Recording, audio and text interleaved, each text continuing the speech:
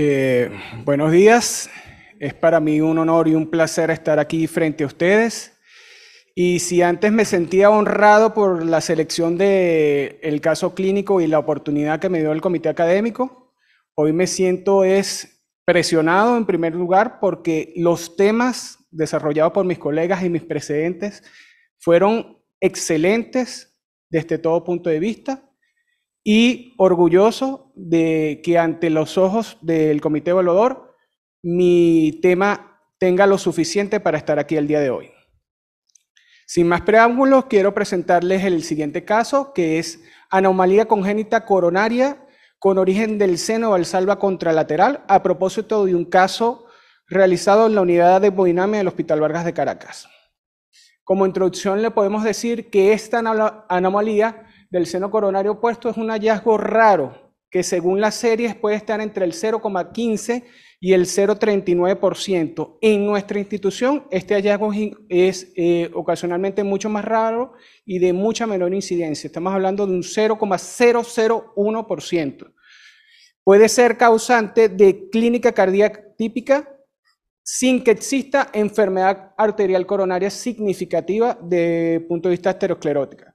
¿Ok? Eh, aquí al lado pueden ver eh, simplemente una representación no sé si se ve el cursor. No se ve el cursor ya. ¿Ok? ¿De qué es la situación que estamos hablando? Entonces, como caso clínico, quiero manifestarle que es un paciente masculino de 60 años que tiene factores de riesgo de edad, sedentarismo, eh, sexo y hipertensión arterial, que ha desarrollado una clínica típica anginosa de dolor retroesternal opresivo a los esfuerzos, razón por la cual acude al cardiólogo y es estudiado. No presenta patrón de disnea, al eco transtorácico muestra un eco sin alteraciones en la contractilidad y una fracción de eyección del 60%. Motivo de la clínica, se decide realizar una test de inducción de isquemia para determinar la presencia de enfermedad aterosclerótica previa al estudio de coronariografía. El resultado del mismo es positivo, mostrando un ecocondobutamina positivo para el territorio de cara inferior, por lo cual se puede sospechar que esté la coronaria derecha o la circunfleja involucrada. ¿Qué es lo que pasa? Una vez realizado todo el protocolo de ingreso a nuestra sala, el paciente, mientras se hace la técnica de diagnóstico con el catéter JL4, se evidencia, a pesar de múltiples intentos, la no existencia del origen de tronco común izquierdo en el seno de valsalva izquierdo. Se realiza un ortograma y se evidencia o no se aprecia el origen. Razón por la cual se decide eh, cambiar al catéter JR4 y realizando las técnicas para el abordaje de la coronaria derecha, la cual se diagnostica o se halla como una eh, coronaria derecha de gran calibre dominante, se halla la salida del tronco común izquierdo del mismo seno de Valsalva derecho y se puede apreciar todo el recorrido que hace hasta llegar a la cara anterior y lateral del ventrículo izquierdo. ¿Ok? Entonces, aquí es donde empieza. Ante esta imagen, ¿qué es lo que debemos hacer nosotros como personal que labora en el área de hemodinamia? Ya tenemos el diagnóstico de que están las arterias coronarias presentes, que están de buen calibre, que no hay enfermedad aterosclerótica por lo menos significativa ni alteraciones de flujo. Entonces, nuestro papel como eh, profesionales en imágenes es buscar orientar nuestra técnica a ver cuál es el origen o el causante de la isquemia que produce la clínica del paciente.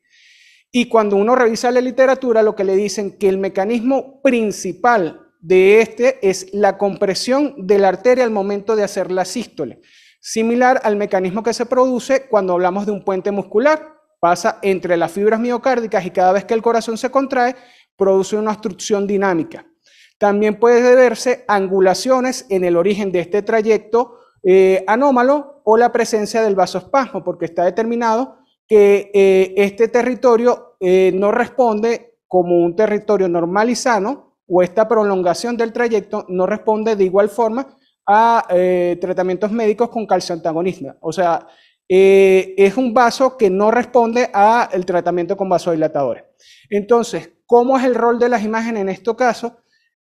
hacemos todas las proyecciones habituales para el descarte de todo lo que es la enfermedad arterial coronaria, pero tenemos que hacer énfasis en eh, operaciones ortogonales de oblicuo anterior izquierda y oblicuo anterior derecha, y debemos anexar eh, la realización de un ventriculograma o una ortograma.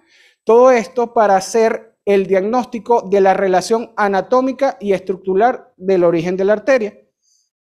Y esto viene a continuación porque se establece que existen cuatro posibles eh, trayectos del origen anómalo de la coronaria izquierda del seno valsalva derecho, que son retroaórtico, preaórtico o interarterial, intraseptal, eh, precardíaco o prepulmonar, y de todos estos, el que se manifiesta o el que produce mayor número de manifestaciones clínicas es el interarterial, que tiene una versión o un subtipo que está más asociado al desarrollo o a manifestarse con eh, muerte súbita.